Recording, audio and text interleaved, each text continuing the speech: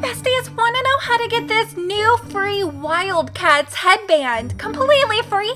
I'll show you how. Let's go. Don't forget to use star code Krystin when buying Robux or Premium. It helps support me and my channel. Let's go ahead and join School of Sport. I'll leave a link in the video description so you guys can find it. Once you join the game, click on the play icon down below right here. Then select the baseball simulator.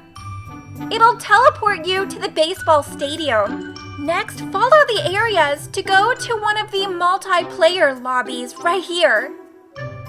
Then you just need to wait for one other player to join you, like this. In this minigame, there's two different things you need to do. The first one, you just need to click or tap. The second one, try to get to the two or three times. And then you'll get the well done, which means you've completed the first minigame. Then you need to complete this for a total of five times. I completed all of this under seven minutes, so it doesn't really take that long. And it doesn't matter your score on these either.